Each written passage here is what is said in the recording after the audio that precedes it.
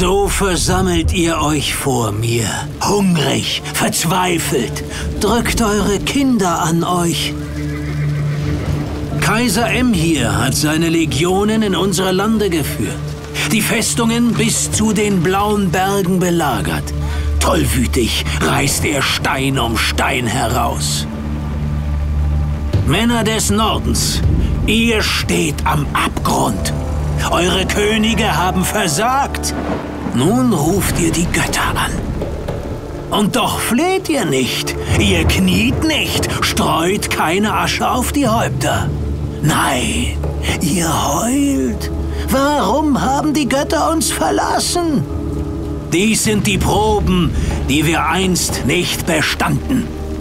Vor langer Zeit verband sich diese Welt mit einer anderen. Sphärenkonjunktion nennen die Gelehrten den Aufruhr. Die Götter ließen unheilige Kräfte in unsere Domäne. Frucht des Kataklysmus war auch die üble Macht namens Magie. Doch verbannten wir sie nicht, sondern studierten das böse Rätsel. Macht und Wohlstand lockten. Und die Monster auf der Schwelle, die bösen Relikte der Konjunktion? Trolle, Leichenfresser, Wehrwölfe?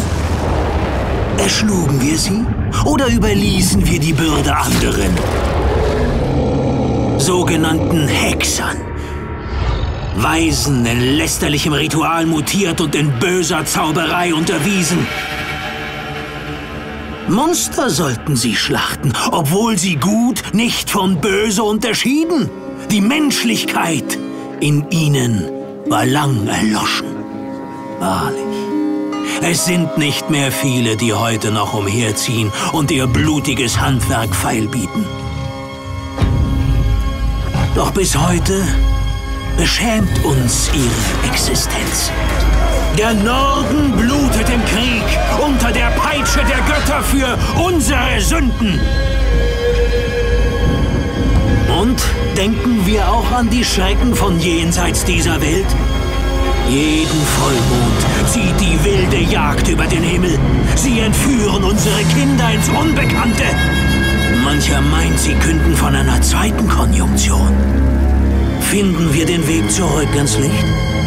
Können wir die Magier in unserer Welt bannen? Uns um die Wärme des ewigen Feuers sammeln?